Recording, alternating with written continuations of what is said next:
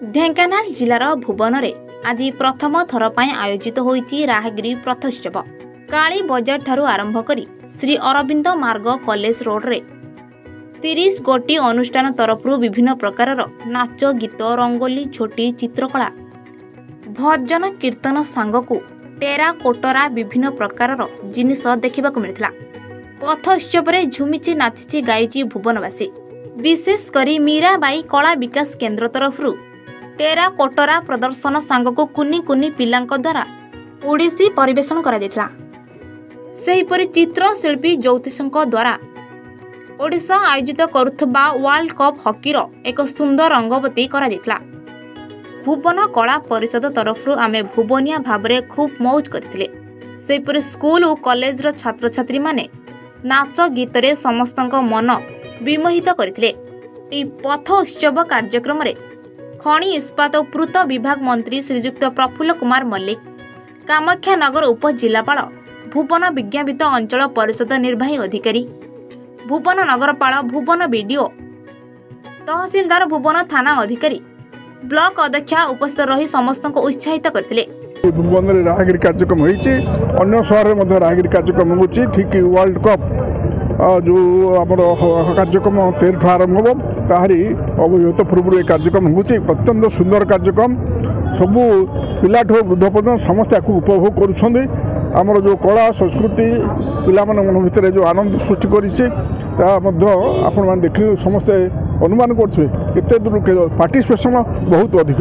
ପାଞ୍ଚ ହଜାର ସକାଳୁ ଅଳ୍ପ ଦୁଇ ତିନି ଦିନ ଭିତରେ ଆରେଞ୍ଜମେଣ୍ଟରେ ଏକଥା ଆମେ ଭୁବନ ଏନ୍ଏସ୍ସି କରିଛି ତେଣୁ ଭୁବନ ଏନ୍ଏସ୍ସିର সমস্ত কর্মকর্তা চেয়ারম্যান মানুষ ধন্যবাদ দেছি যে অল্প সময় ভিতরে এই কার্যক্রম সুন্দর ভাবে করছেন আকু আমি ভবিষ্যতের আকু আহরি আগেবা এবং ভুবনকু গোটে ভালো সহর করা যে কহিলি স্বর্গ ভুবন নয় মর্ত্য ভুবন মর্ত্য ভুবন স্বর্গ ভুবন পাল্টা যা ব্যবস্থা সে কথা করা আপনার সহযোগ সমস্ত ধন্যবাদ নূবর্ষর শুভেচ্ছা হকি ওয়ার্ল্ড কপ ওড়শা আয়োজন করুচি সেই পরিপ্রেক্ষীরে সারা ওড়শার যে রাহাগিরি কার্যক্রম চালছে সে রাহাগিরি কার্যক্রমে ଭୁବନ କଳା ପରିଷଦ ଭାଗ ନେଇଥିଲା ଭୁବନ କଳା ପରିଷଦର ସଭାପତି ସମ୍ପାଦକ ଉପସଭାପତି ଏବଂ ଚର୍ଚ୍ଚିତ ଭୁବନର କଳାକାର ଜ୍ଞାନରଞ୍ଜନ ସାହୁ ଅଭି ଏବଂ ଟୁଲୁ ଡମ୍ବୁରୁ ଭାଇ ବୁଟା ଭାଇ ଏବଂ ଅମ୍ବୁଜା ଭାଇ ସମସ୍ତେ ଏଠି ଉପସ୍ଥିତ ରହି ଅତି ଚମତ୍କାର ଢଙ୍ଗରେ ନିଜର କଳା ନୈପୁଣ୍ୟ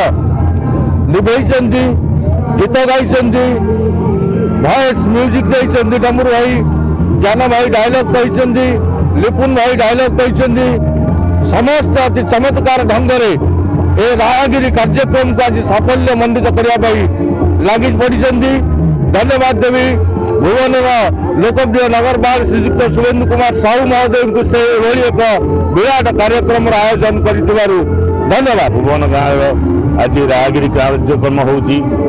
ଯାହା ହଉ ଆଜି ଏତେ ବର୍ଷ ପରେ ମୋ ଜନ୍ମରୁ ଏଇଟା ପ୍ରଥମ ସମୟ ପାଇଁ ଦେଖିଲି ମୋତେ ଭାରି ଖୁସି ଲାଗିଲା ସେଥିପାଇଁ ମୁଁ ରାତି ଅନିଦ୍ରା ହେଇକି ଦୀର୍ଘ ଅଶୀ କିଲୋମିଟର ଦୂରରୁ ଆସିଛି ବହୁତ ରଫ୍ ରାସ୍ତାରେ। ମୋ ଗୁରୁ ମୋ ବାପ ଗୁରୁପ୍ରସାଦଙ୍କ ନିର୍ଦ୍ଦେଶ କ୍ରମେ ମୁଁ ଆସିଛି ଆମ ଭୁବନ ଆମେ କଳାକାର ଆମ ଭୁବନ କଳାକାର ତାଙ୍କ ନିର୍ଦ୍ଦେଶ କ୍ରମେ ମୁଁ ଆସି ପହଞ୍ଚିଛି।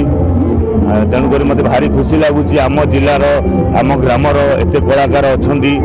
ତେଣୁ ବାଜି ରାଉତ ମାଟି ରକ୍ତ।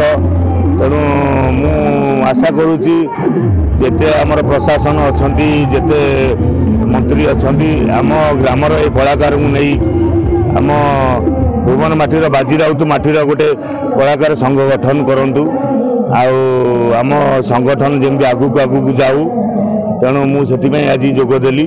ତେଣୁ ପାରୁକ୍ରମ କ୍ରମେ ଯେତେକ କଳାକାର ସବୁ ଗାଁରେ ଲୁଚି ରହିଛନ୍ତି ସମସ୍ତ କାର୍ଯ୍ୟକ୍ରମ ତ ବହୁତ ସଫଳ ରହିଛି ଆପଣ ମିଡ଼ିଆ ମାନେ ଆଉଛନ୍ତି ଆପଣ ମିଡ଼ିଆରେ ହାଇଲାଇଟ୍ କରୁଥିବେ ଆପଣ ଜାଣିନଥିବେ କେତେ କାର୍ଯ୍ୟକ୍ରମ ସଫଳ ହେଇଛି ରାହାଗିରି କାର୍ଯ୍ୟକ୍ରମ ଆଜି ଭୁବନବାସୀ ପାଳନ କରିଛନ୍ତି ହସ ଉନ୍ମାଦର ସହିତ ପାଳନ କରିଛନ୍ତି ଭୁବନ ଏନ୍ଏସିର ସମସ୍ତ ଷ୍ଟାଫ୍ ଏଥିରେ ବହୁତ ସହଯୋଗ କରିଥିଲେ ଏବଂ ଭୁବନର ପ୍ରତ୍ୟେକ ଘର ଘରର ବ୍ୟକ୍ତି ଜଣେ ଜଣେ ହିଁ ସମସ୍ତେ ସହଯୋଗ କରିଥିଲେ ପ୍ରତ୍ୟେକ ସ୍କୁଲ କ୍ଲବ୍ ଅନ୍ୟାନ୍ୟ ଆନୁଷ୍ଠାନିକ ଲୋକମାନେ ବହୁତ ସହଯୋଗ କରିଥିଲେ ଏବଂ ହସ ଉନ୍ମାଦର ସହିତ ପାଳନ କରୁଛନ୍ତି ଏବଂ ଆଗକୁ ଭବିଷ୍ୟତରେ ବହୁତ ବଡ଼ ଧରଣର ପାଳନ କରାଯିବ। ଭୁବନରୁ କ୍ଷୀରଚନ୍ଦ୍ର ନାୟକଙ୍କ ରିପୋର୍ଟ ଏ ୱାନ୍ ଓଡ଼ିଶା